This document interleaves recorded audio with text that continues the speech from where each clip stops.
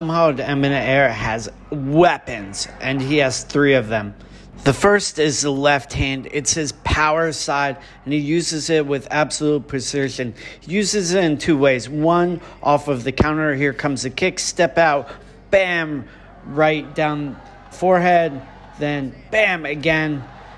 You can see he immediately counters, whack, that time going for the uppercut then again, he's going to use his lead hand to frame, and then the left hand loads up.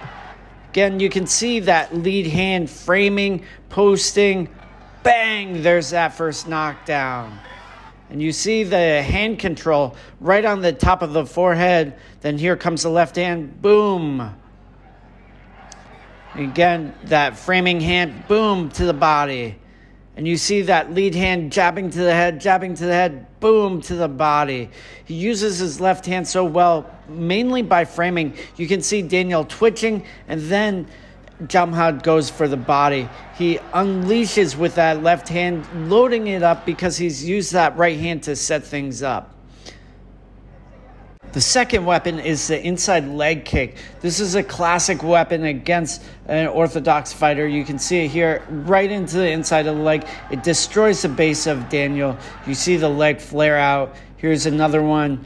You see Daniel's hips not aligned correctly, and he's injured from it. The last weapon is the short elbows. We're going to see them do a ton of damage. Here's that first one lead hand controlling, then right hand bang, right into Daniel's chin, drops him for the eight count.